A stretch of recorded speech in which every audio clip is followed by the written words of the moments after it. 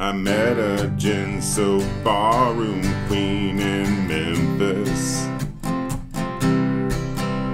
She tried to take me upstairs for a ride. What's up, guys? Kevin here from Relax Learn Guitar. We are checking out the Rolling Stones Honky Tonk Women. Great little tune. Uh, perfect if this is uh, one of the first kind of Stones tune, Rolling Stones song you're taking on. This is the kind of strummer, kind of beginner version of this song. Uh, Relax Learn Guitar, I believe you're never too old to learn, and I help music lovers over 40 become the guitar players they've always wanted to be. And this is a great choice to kind of start down that path. So let's get started. All right, let's break down these chords. Some open, easy chords for beginners here. We've got a G chord. Now for that G chord, you can play that with the kind of three finger, more traditional. I like playing the G chord a lot with a four finger G, where I'm adding in my ring finger to the second string third fret, and then using my pinky on that first string third fret. And that's kind of the four finger G, a little more fuller. We've also got a C chord. For the C chord, remember not to play the sixth string fifth string root on this chord, so fifth string down. And be sure you arch those fingers and get those pressed into that fretboard so you have nice clear ringing out there. Then we have an A7. Great sounding little chord there.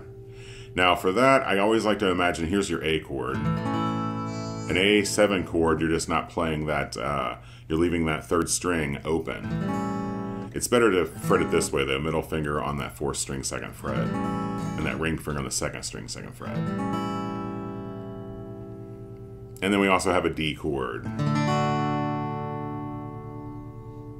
And for that D chord, it's important to remember you're going to strum mostly those high strings, strings 4 through 1, the thinnest strings there on your guitar. To learn the first eight chords that you should know as a beginner, check out the link in the description below where I go over those chords that include many of the ones that are used in this song. Now, when I was first starting out, I really listened to a lot of Stone songs and thought, I will never be able to play like that. But this song, you can definitely start here with the strumming version and sound really good doing it. So for this intro, we got a really cool little drum fill at the beginning with some cool little drum, uh, cowbell in there, I think. And then you want to fret that G chord. Using that four finger version. And if you listen, there's a guitar part that goes.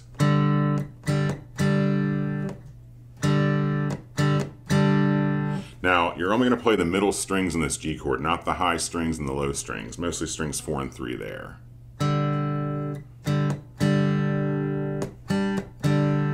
For that intro piece, just to kind of get things started. If you like this lesson so far, be sure and hit that like button. It'll really help us out. Then we're going to go into a strum pattern here.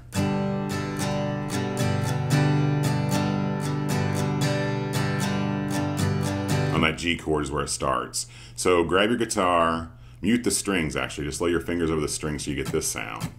And we're going with a uh, down, down, up, up, down, up, down, down, up, up, down, up. You can use this strum pattern for the entire song. Starts on a G. I met a soaked barroom queen in Memphis to a C. Back to G. She tried to take me A7 for a D. Now, in terms of the number of strums or the number of strum patterns these chords get, the G gets two strum patterns. The C gets two. Back to that G for one. A seven for one. So those kind of split those there. To the D for two. Repeat. She G to heave me right across her sea. Cause I G can't seem to D her off my G. So same kind of idea there. The uh, G gets two strum patterns right across the shoulder. C for two strum patterns. back to G for one, because I just can't seem to. Then he goes to the D for the drink her off my mind. D gets one pattern, drink her off my back to G for two. And there you have the verses for the song. Then it's time for that chorus. It's the get your honky tonks out. It's the honky tonk women. Give me, give me, give me the honky tonk blues. Same strum pattern. Starts on the G. It's the hum to a D. Honky tonk back to G. Women. So there it's one strum pattern, G, one strum pattern to D, two strum patterns of G. And then the give me is a G. Gimme, gimme, D, the honky tonk G's. And then you're gonna have the chorus as well. Now inside my Relax on Guitar membership, the lesson there includes those embellishments I had had at the beginning of this lesson when you uh, for the intro.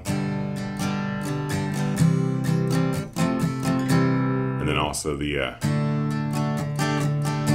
so if you'd like to learn more about that membership option, check out the link in the description.